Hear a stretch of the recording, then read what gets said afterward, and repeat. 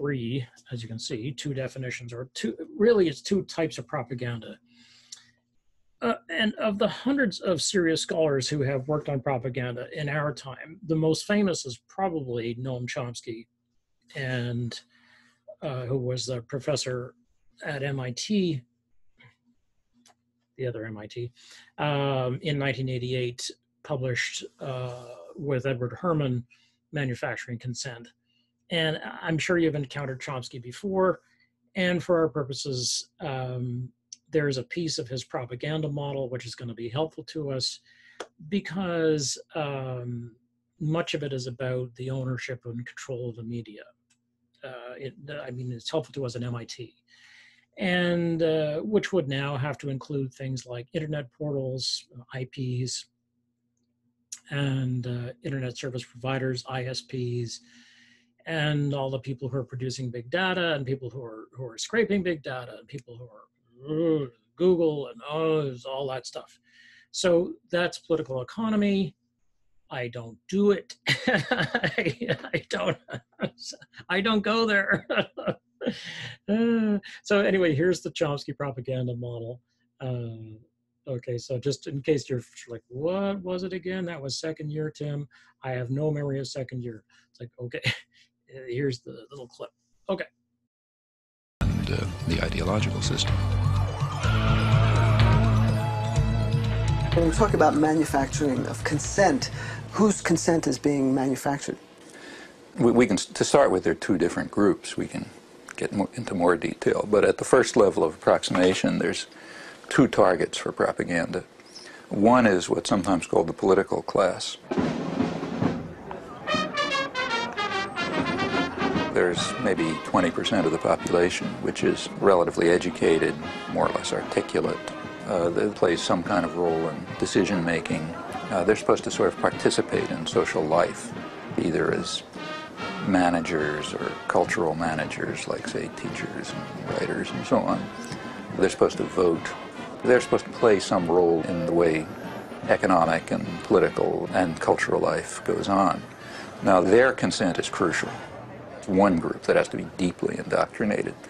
Then there's maybe 80% of the population uh, whose main function is to follow orders and not to think, you know, and not to pay attention to anything. And they're the ones who usually pay the costs. All right. Professor Chomsky, no.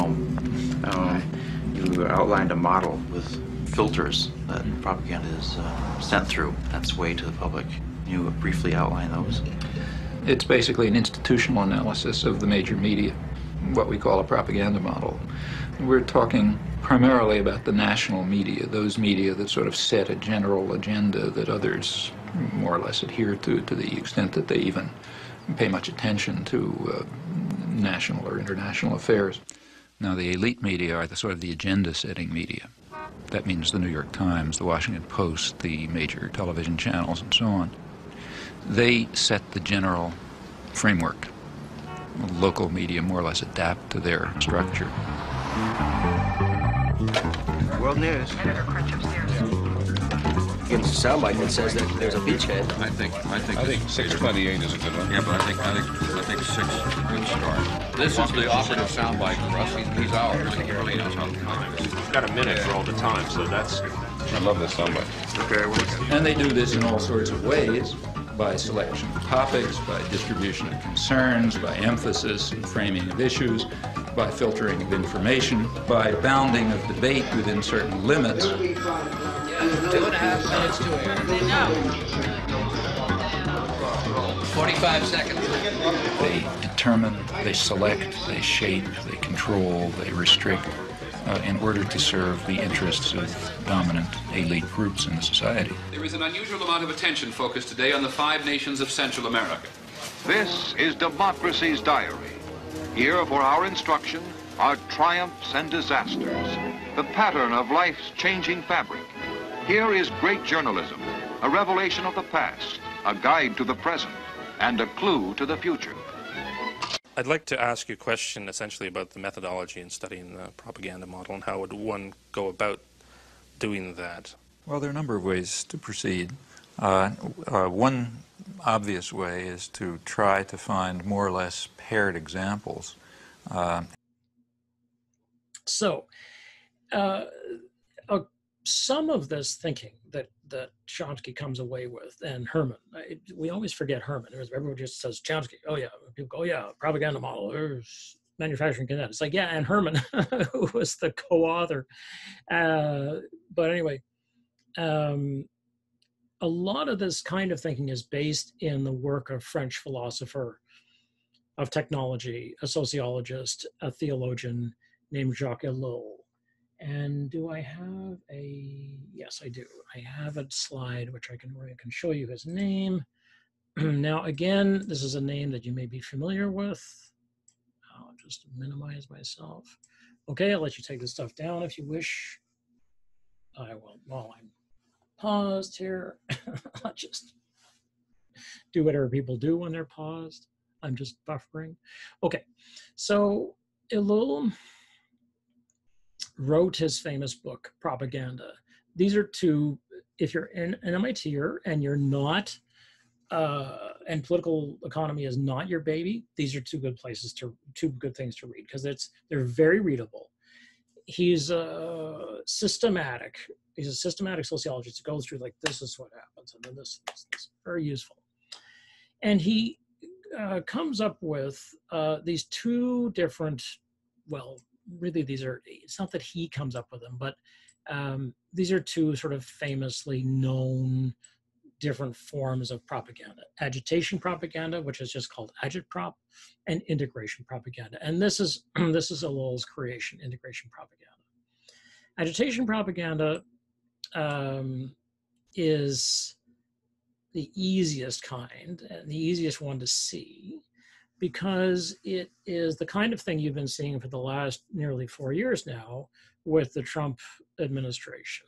The Make America Great Again um, brand, really, it sort of stays just a brand until you start to say to people, there's a caravan of uh, rapists and murderers uh, who are coming from Honduras and Ecuador and uh, Guatemala and Brazil, and they're coming and they're coming to rape your daughters and steal your jobs. And okay, uh, you know, so it's like we need to build a wall. And okay, that's agitation propaganda because you're trying to get people upset about something that's going to happen and keep them upset long enough to put you in power or get a job done basically. So the wall is not really very important, particularly, and it's certainly not a good way of of solving this particular problem. If you if what you see is that you've got a problem with um, immigration,